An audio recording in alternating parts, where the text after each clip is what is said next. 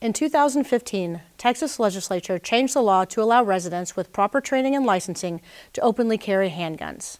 This new open carry law took effect January 1st. Texans will now be able to carry handguns in plain view in accordance with House Bill 910.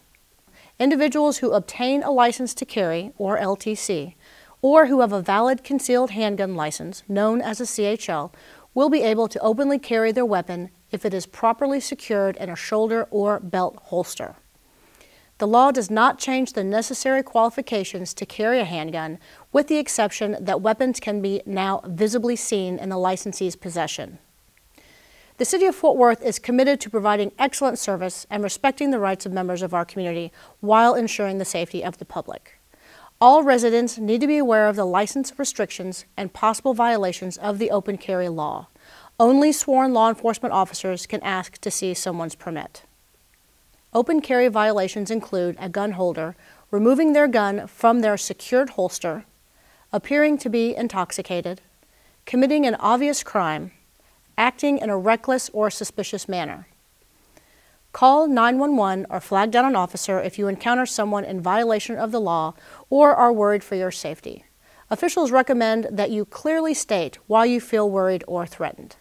In addition, license holders are prohibited from carrying in certain locations, such as schools, election sites, courtrooms and offices of the court, hospitals with proper signage, worship centers with proper signage, amusement parks with proper signage, non-firearms related high school, college, or professional sporting event or interscholastic event. College events require proper signage governmental meetings subject to Texas Open Meetings Act with proper signage.